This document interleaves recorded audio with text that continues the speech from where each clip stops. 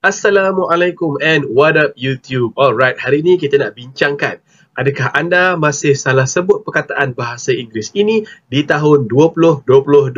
Macam mana? Masihkah anda salah sebut perkataan-perkataan ini? Alright, we are going to look at a few words in English which you guys might be mispronouncing. Alright, so are you guys ready? I know I am. Let's go. Okay, the first word for today. Now, if you look at this word, alright, Tengok pada perkataan ini. Kita biasa makan benda ni. Especially time raya. Tahu kan? Orang duk selalu sebut biskut Almond London. Almond London. Almond London. So, adakah sebutannya almond? Is the pronunciation almond? Well, I'm sorry to break the news, but actually that is the wrong way for pronouncing this word. It's actually pronounced as ha, itu dia. Almond. We pronounce this word as almond. Okay? Bukannya almond, tetapi almond. L tu silent L. It's almond. Almond. Okay. Okay. Next word. Now, bila kita tengok perkataan ni, mungkin ada yang akan tertanya-tanya. Rasa bunyi dia schedule. Tapi ada juga yang sebut schedule. Yang mana satu yang betul? Which is the correct pronunciation? Well, for this particular word, we have two ways of pronouncing it. You can either use number one, American English, which you pronounce as schedule, bunyi dia j, schedule.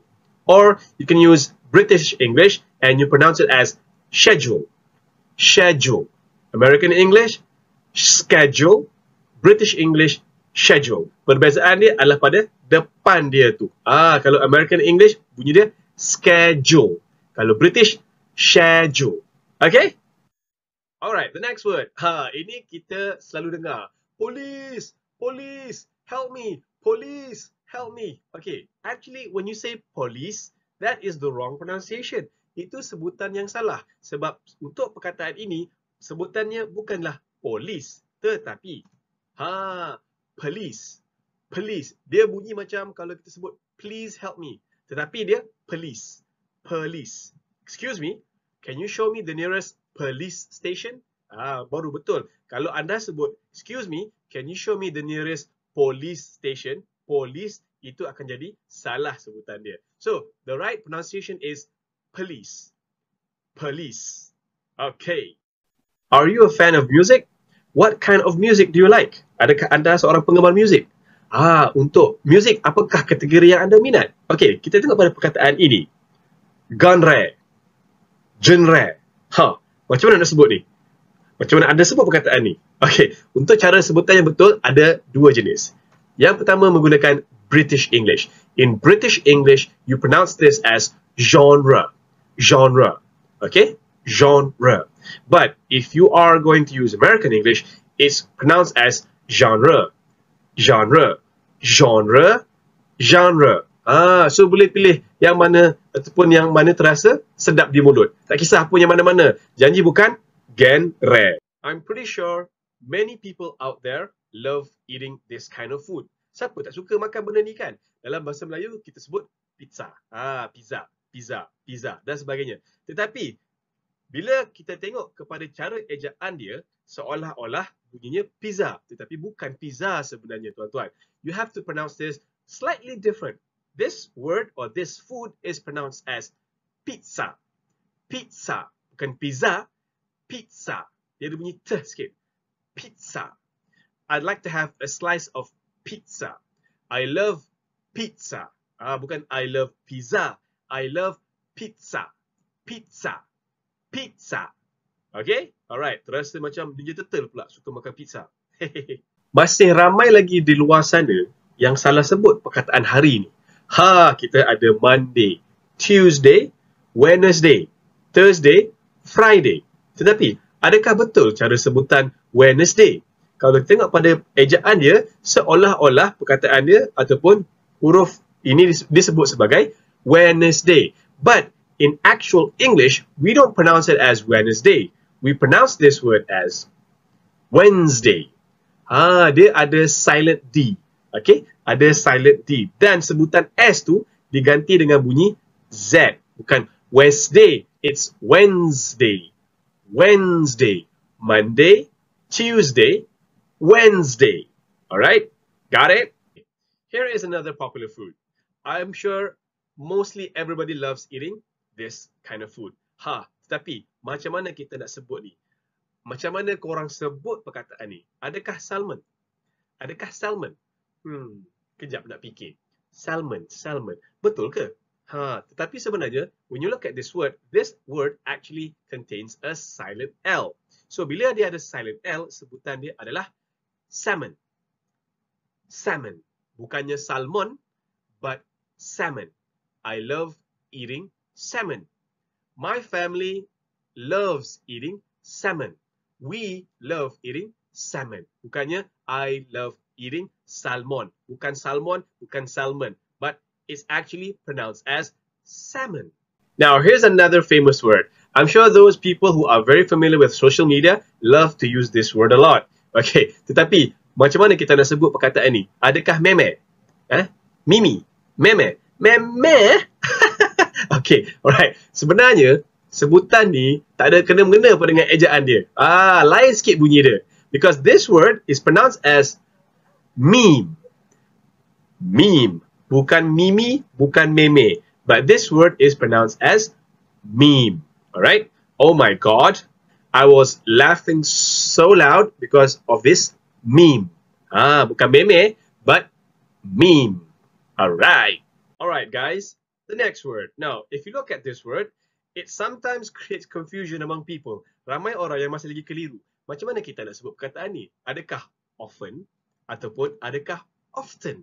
Yang mana satu yang kita kena sebut sebenarnya? Okay, jom saya jelaskan. Untuk perkataan ini sebenarnya, you can actually pronounce it as often or often. Tak salah, dua-dua diterima.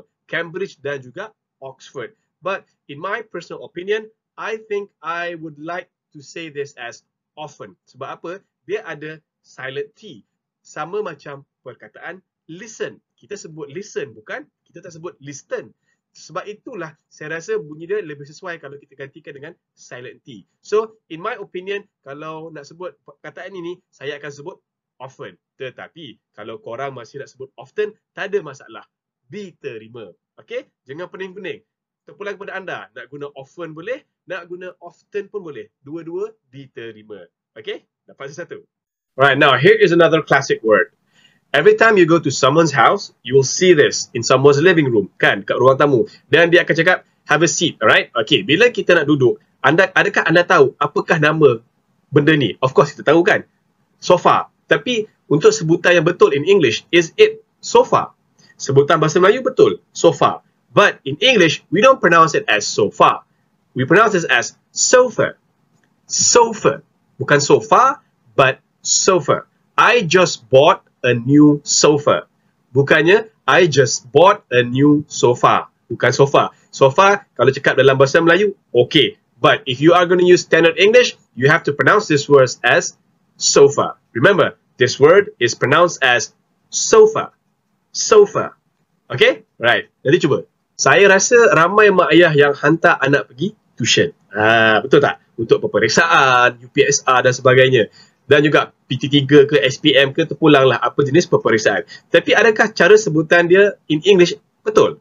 Ha, kita tengok ejaan dia. T-U-I-T-I-O-N. Tapi kalau kita sebut ataupun ramai yang sebut tuition, tuition, tuition. Okay? Because this is not pronounced as tuition.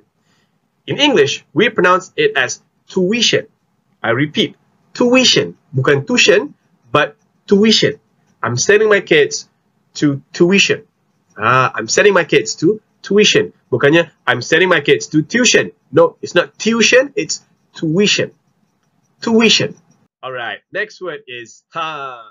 Kalau kita tengok dekat kedai, kita pergi kedai makan, if we go to a restaurant, then you will definitely have this on the table, correct? Kita pun buka lah menu. Ah, excuse me sir, or excuse me, uh, waiter, can I have the menu? Okay, ini bukan menu ah. Ini bukan sebutan dia menu sebutan menu tu kalau dalam bahasa Melayu okay. But if you're going to say in standard English this word is pronounced as menu. Menu. Dia ada sengau-sengau sikit. You have some nasalized sounds to it. Menu. Bukan menu but menu. Ada bunyi nyeh nyeh right? So this is pronounced as menu. Bukannya menu atau menu. Bukan menu ah. Yang pastinya bukan menu. So pastikan sebutan dia betul. Menu. Menu. All right, people. Now, this is another word which is very popular among WhatsApp users, especially if you want to say it to someone. Right? We normally say congrats.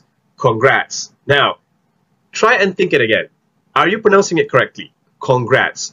Okay, sebab ejaan ni ada O. So, kena bunyi con lah kan? Tak, sebenarnya salah. Untuk perkataan ini, anda kena sebut sebagai congrats. Congrats. Congratulations. Bukannya congratulations. It's congratulations congrats. Okay, bukan con, but con.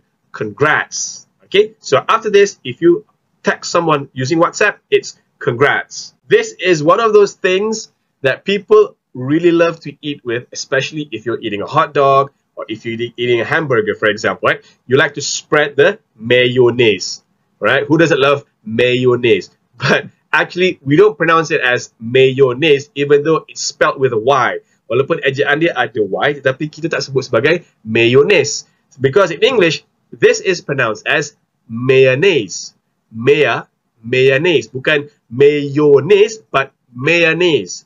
Mayonnaise. Ah dia tak ada bunyi yeh tu. Bunyi yeh tu tak ada.